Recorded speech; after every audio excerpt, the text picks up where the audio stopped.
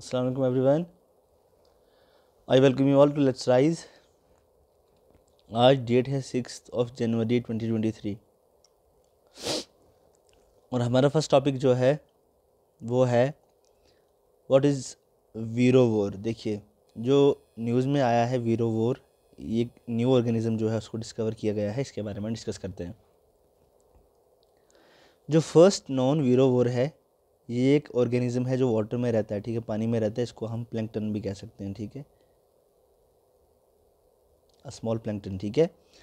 तो it that it's viruses has been found researchers claimed जो researcher researcher हैं microbiologist हैं जॉन डिलोंग इन्होंने क्लेम किया है कि इन्होंने डिस्कवर किया है वीरोवोर इसका नाम वीरोवोर क्यों रखा गया है? फॉर एग्ज़ाम्पल कि जो एनिमल्स क्या करते हैं कि फ्लैश ईटिंग एनिमल्स होते हैं, उनको हम कहते हैं कार्निवोर जो ग्रास ईटिंग होते हैं, उनको हम कहते हैं हर्बीवोर ऐसी ये जो एक ऑर्गेनिज्म है, ये कंज्यूम करता है वायरस को मतलब ये वायरस को खाता है, ठीक है? इसलिए इसको कहा जाता है क्या?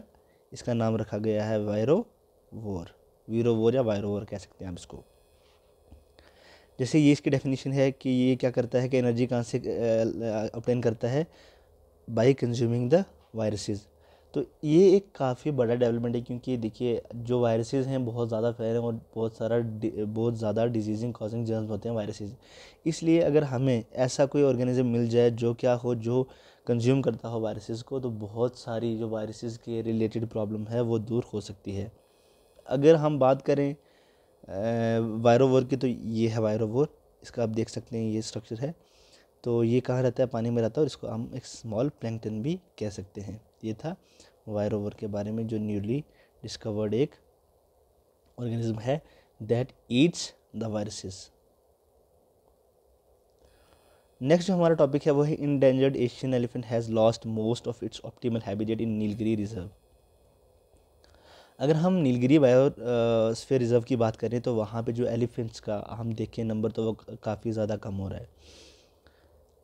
अब इसकी बहुत सारी वजह है। एक वजह है कि फेंसिंग करके उनका जो एरिया है उसको क्या कर दिया गया है कम कर दिया गया कि ये फेंसिंग है इसके अंडर की जो एलिफेंट्स है तो वह रहेंगे। इससे क्या होगा? इससे प्रॉब्लम ये ये होगी कि ज़्यादा से ज़्यादा इन ब्रीडिंग हो, होगी।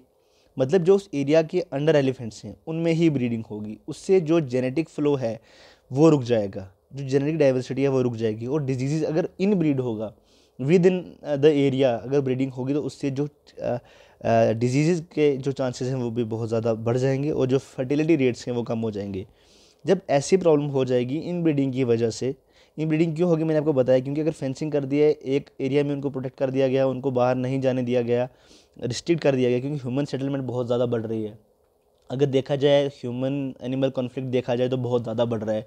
जिसकी वजह से उनका एरिया अगर प्रोटेक्ट कर दिया गया, उनको फेंसिंग कर कर दी गई तो वो बाहर नहीं जा पाएँगे, जिसकी वजह से जो ब्रीडिंग है सिर्फ़ उसी एरिया में होगी। इन ब्रीडिंग की वजह से एक तो लो जेनेटिक डाइवर्सिटी उसके बाद डिज़ीज़ के चांसेस बढ़ जाएँगे और उसके बाद जो फर्टिलिटी रेट है वो कम हो जाएगा। जब ऐसी सभी चीज़ें हो जाएगी, उससे प्रॉब्लम क्या होगी? उससे प्रॉब्लम हो जाएगी किसकी? कि जो इनकी पॉपुलेशन है और ऑलरेडी इंडेंजर्ड है, इनकी पॉपुलेशन जो है काफ़ी कम हो जाएगी। अगर हम जो इंडिया में एलिफेंट पाई जाती है, इसकी बात करें, एशियन एलिफेंट, जिसको कहा जाता है एलिफस मैक्सिमस, इसको एशियाटिक एलिफेंट भी कहा जाता है।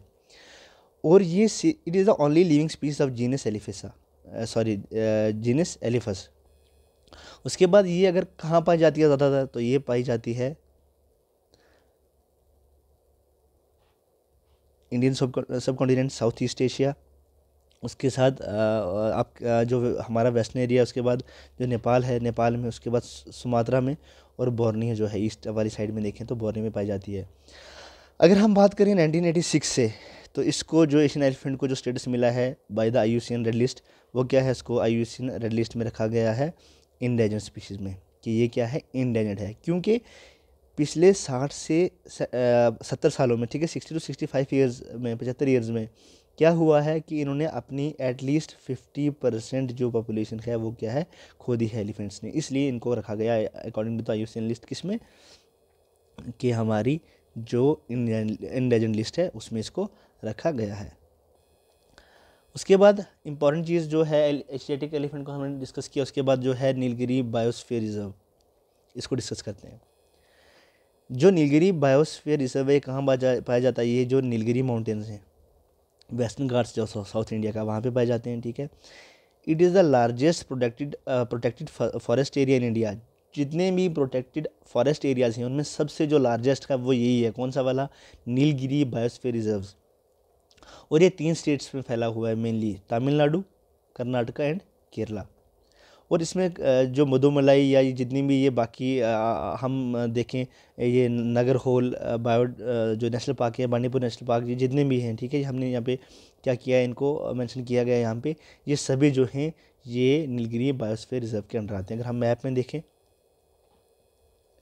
अब देख सकते हैं, ये जो है, ये तीन स्टेट्स के जो बाउंड्री है, ठीक है, तीन स्टेट्स की कौन कौन सी? केरला, तमिलनाडु और जो अपना कर्नाटका है, ठीक है, कर्नाटका केरला और तमिलनाडु के बीच में क्या है, ये फैली हुई है। अगर इसको हम देखें, ये है हमारा नीलगिरी बायोस्फीयर रिज़र्व उसके बाद जो हमारा टॉपिक है, वो है industry seeks removal of import duty on natural rubber अभी हम यहाँ बात करेंगे नेचुरल रबर की, कि जो अभी प्रेजेंट टाइम में जो बेसिक ड्यूटी जो टैक्स है, जो इम्पोर्ट पे लगता है किसके नेचुरल रबर के, वो है जो बेसिक ड्यूटी है। उसका अगर हम देखें तो बेसिक ड्यूटी कितनी है? Basic duty twenty five percent उसके बाद एडिशनल ड्यूटी फाइव परसेंट जो सरचार्ज है सरचार्ज देखा जाए तो वो कितना है, वो है टेन परसेंट ठीक है? जो all India rubber industries association उन्होंने अर्ज़ किया है गवर्नमेंट को रिक्वेस्ट किया है कि जो नेचुरल रबर है, इस पे जो इम्पोर्ट ड्यूटी है, वो कम की जाए। क्या की जाए? कम की जाए। अब अगर हम डाटा उठा के देखें, किसका डाटा जो है united plan planters association of southern India तो एक पॉइंट एक लाख टन जो है कंपोनेंट रबर अब अब यहाँ पे कंपोनेंट रबर की बात करें, जो इंपोर्ट किया गया कब? ट्वेंटी वन ट्वेंटी टू में। और अगर देखा जाए this was zero point nineteen lakh ton higher than the previous year अगर नेचुरल रबर की बात करें, किसका इंपोर्ट जो नेचुरल रबर है हमारा। नेचुरल रबर का जो इंपोर्ट है, वो है कितना? अगर हम ट्वेंटी एटीन नाइनटीन की बात करें तो वो कितना था? Five point eight two lakh ton और फिर दोबारा ट्वेंटी ट्वेंटी वन और ट्वेंटी टू में इसने फिर से फाइव मतलब पाँच लाख से ज़्यादा का जो मार्क है, उसको टच किया। तो इतना ज़्यादा अगर इतने अमाउंट में इंपोर्ट हो रहा है नेचुरल रबर नेचुरल रबर जो है तो फिर अगर उस पर इम्पोर्ट ड्यूटी लग जाएगी तो बहुत बड़ा असर पड़ेगा कि इस पर जो लोग इंपोर्ट कर रहे हैं ये चीज़। इसलिए गवर्नमेंट को अर्ज़ किया गया है कि आप जो इम्पोर्ट ड्यूटी है, जो लगाते हैं नेचुरल रबर पर उसको कम किया जाए। अब रबर जिसको इंडियन रबर भी कहा जाता है, या लेटेक्स जो है, ठीक है, ये बनी होती है किससे जो कंपाउंड है आइसोप्रीन का। ठीक है, जो पॉलीमर्स हैं, कौन से कंपाउंड आइसोप्रीन किसकी बनी हुई है? अगर हम ज़्यादा से ज़्यादा देखेंगे कि जो कंट्री मेजरली प्रोड्यूस करती हैं नेचुरल रबर वो हैं थाईलैंड, मलेशिया, इंडोनेशिया, ये जो हैं, ये तीनों कंट्रीज़ ये हैं leading producers of the natural rubber अब नेक्स्ट जो एडिटोरियल है, ये आज क्या हुआ है, ये रिपीट हुआ है। हमने इस पर ऑलरेडी डिस्कस किया है इंडिया नेपाल के रिलेशन पे। इंडिया नेपाल के रिलेशन में हम ऑलरेडी डिस्कस कर चुके हैं, ठीक है? ये है हमारा जो हमने पहले भी डिस्कस किया है इस पर अब तो ये रिपीट हुआ है आज तो इसलिए हम इस पर ज़्यादा डिस्कशन आज नहीं करेंगे। अगर कोई फर्दर ऐसी न्यूज़ आएगी तो उसको हम फिर से डिस्कस करेंगे, ठीक है?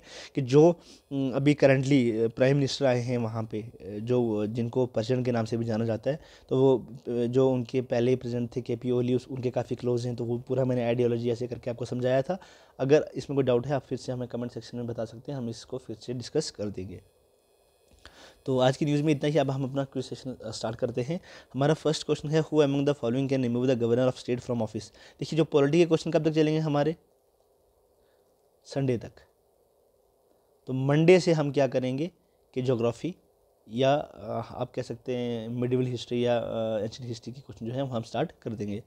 तो जो फ़र्स्ट है वो the following can remove the governor of state from the office तो आपने पढ़ा होगा कि the president is empower to remove the governor from the office. तो इसका आंसर है प्रेसिडेंट।